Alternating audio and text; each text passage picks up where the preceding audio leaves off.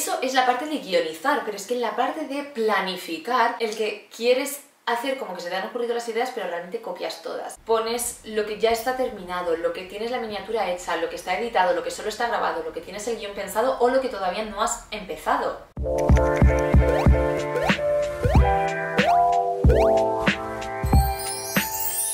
Hola a todos y a todas y bienvenidos un día más a mi canal. Hoy os traigo un vídeo en el que os voy a llevar más por la parte de atrás de las cámaras. Es decir, os voy a contar un poquito cómo es grabar un vídeo de YouTube, qué es todo lo que hay detrás de esto, porque es verdad que a veces se infravalora bastante lo que se hace aquí. Y es que ya sabéis que yo aparte estudio una carrera, pero también pues subo contenido a redes sociales. De hecho a YouTube subo dos vídeos a la semana, miércoles y domingos, siempre a las 7 de la tarde, por cierto, para que lo sepáis. Así que me apetecía como que conozcáis también un poquito lo que es este mundito porque es bastante desconocido todo lo que hay detrás, todo el trabajo que hay y todas las partes que hay que seguir porque esto realmente es bastante mecánico dentro de la creatividad que es crear contenido pero es bastante mecánico todo el proceso que hay que seguir, hay pasos muy marcados y muy importantes que no te puedes dejar. Así que empiezo a contaros. En primer lugar tenemos la parte más creativa de todas yo creo y es la idea. ¿Qué debemos hacer para conseguir las ideas? Pues mira, habrá veces en las que se te ocurra directamente así una idea, pero habrá veces que tengas la cabeza como más colapsada, menos creativa, no se te ocurran. Entonces, ¿qué haces? Pues te metes en YouTube, empiezas a ver las cosas que te gustan, buscas contenidos, ya buscas cómo hacer no sé qué tal, y buscas un poquito tu estilo de vídeo para ver qué tipos de vídeos te salen. Y pones en el buscador de YouTube algunos vídeos que tú hayas hecho, por ejemplo, para ver qué otros vídeos como del estilo relacionados te salen. Algo también muy guay es Pinterest. Y aunque Pinterest, tú dirás, ¿cómo voy a encontrar ahí ideas de vídeo? Y pues empiezas a buscar cosas que a ti te gusten. Y a veces simplemente me meto allí y empiezo a ver moda, uñas, cosas del hogar, estilo de vida, temas de deportes, recetas, un poquito lo que a mí me gusta, ¿no? Y entonces de repente como que viendo alguna cosa de ahí, que también hay vídeos y alguna cosita así, de repente te llega la inspiración. Oye, ¿y si hago un vídeo de looks, pero no de looks, sino de tipos de pantalones que hay? O sea, te llega como un poquito la inspiración. Y esto cada uno de su mundo.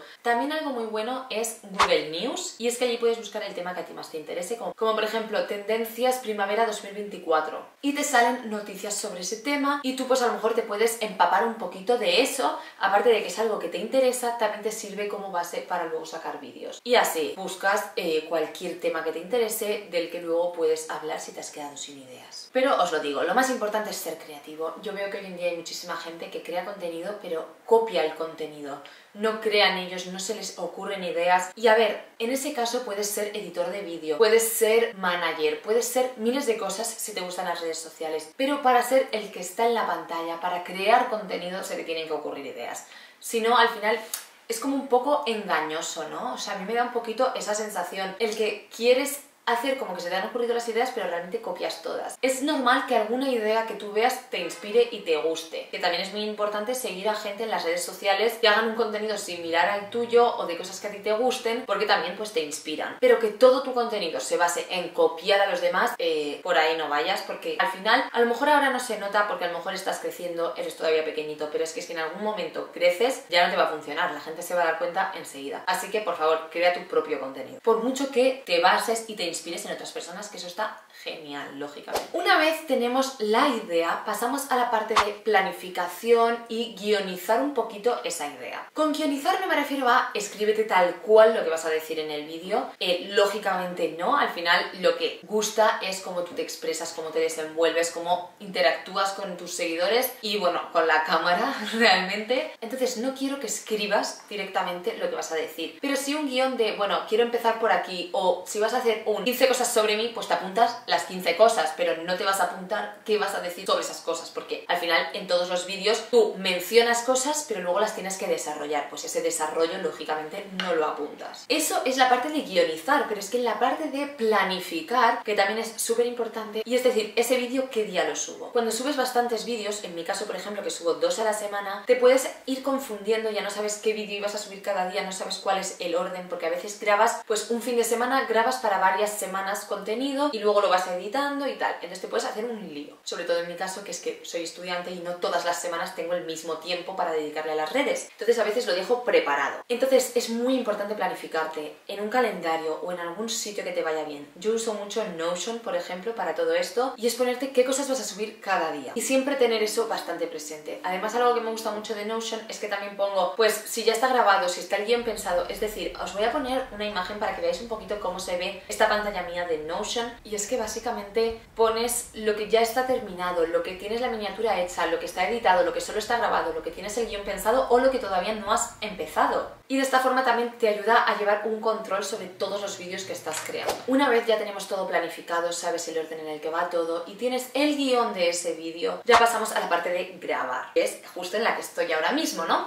Y es buscarte un buen fondo, un buen lugar, incluso basta con un fondo auténticamente blanco. Cualquier cosa es válida, pero que esté recogido, que esté ordenado, que esté bien. No, no vas a tener cosas tiradas por todo porque al final da una imagen fea, al final todo el mundo se fija más en el fondo que en ti y que en lo que estás diciendo, entonces tampoco nos interesa, ¿no? Y nada, en la parte en la que estás grabando, pues ser amable, ser agradecido con tus seguidores, porque al final estás aquí gracias a que te están viendo y lo que buscas es que te sigan viendo, que te suscriban y todas esas cosas. Entonces, qué mínimo que ser agradable con ellos, ¿no? O sea, me parece bastante lógico esto, pero bueno, eh, simplemente transmitir buena energía, que es lo que a todos nos gusta ver en las redes sociales, ¿no? Que alguien transmita buen rollo y entender, vocalizar, es súper importante vocalizar. Esto me harto de decirlo, pero es que es muy importante, que es que a veces hay gente que no se la entiende y es bastante importante a la hora de comunicar, que es lo que hacen los creadores de contenido, comunicar pues es bastante importante vocalizar y que se te entienda. Una vez hecho esto, pasamos a la parte de edición. La parte es muy importante, tienes programas como Premiere, Final Cut, que son de pago, pero también está CapCut, que es el que actualmente estoy utilizando, por mucho que yo tengo el Final Cut Pro, que es el programa de Apple, lo tengo pagado, pero en este momento preciso estoy usando ahora mismo CapCut, porque la verdad es que va bastante bien, va bastante fluido, y el Final Cut, por mucho que me va súper bien, es cierto que es que lleva desde que me lo compré hace muchísimos años sin evolucionar, o sea, no veo cambios en esta aplicación. Entonces, por eso estoy empezando con CapCut y es gratuito. Hay cosas de pago dentro, pero yo no las utilizo. Yo uso totalmente la versión gratuita y va bastante bien. Ahí es importante, lógicamente, añadir efectos, añadir música, añadir efectos de sonido, añadir textos. Y bueno, un detalle también bastante importante es poner bastantes zooms y poner un poquito de dinamismo en lo que es el vídeo. Después de esto ya pasamos a la parte de subirlo a YouTube y para subirlo a YouTube tenemos que centrarnos en varias cosas. Bueno, en primer lugar, lo subes, lo programas el día y la hora que tú quieres y después te centras en ponerle pues el título que deseas, el texto que deseas, las etiquetas, en qué lista de reproducción quieres meterlo, si es que quieres meterlo en alguna, cosa que yo hago bastante, la verdad. Y también nos centramos en la miniatura. Tenemos que hacer una miniatura pues que llame la atención. Dicen ahora mismo que es en lo que más se fija la gente a la hora de entrar a un vídeo o no.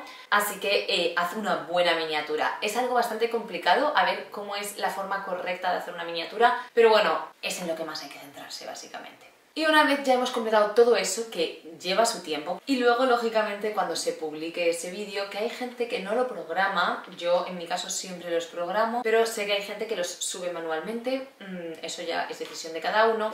Una vez se publique, estar atentos a todos los comentarios que puedan haber, si hay gente que te escribe, aunque sea por otras redes sociales a raíz de este vídeo, por lo que sí estar bastante atento a tu audiencia, a ver qué opinan y qué les ha parecido ese vídeo, ¿no? Porque al final importa bastante de cara a ver qué vídeos les interesan más, cuáles menos y lógicamente también luego hacer un estudio de las estadísticas de tu canal, qué vídeos funcionan mejor, cuál es peor, de cara a luego saber qué otros vídeos hacer, lógicamente. Y nada, deciros que yo grabo con la cámara Sony Alpha 6100, eh, la verdad a mí me va bastante bien y lo dicho, edito con CapCut o Final Cut, depende del vídeo de lo que me apetezca en ese momento, pero básicamente esto es lo que yo utilizo y de fondos siempre pues mi habitación, la verdad. Así que nada, espero que os haya servido el vídeo, ya sabéis que podéis compartirlo con las personas que creéis que también les puede servir y no olvidéis que nos vemos cada miércoles y domingo por el canal a las 7 de la tarde, así que nos vemos el próximo día. Un besito, os quiero.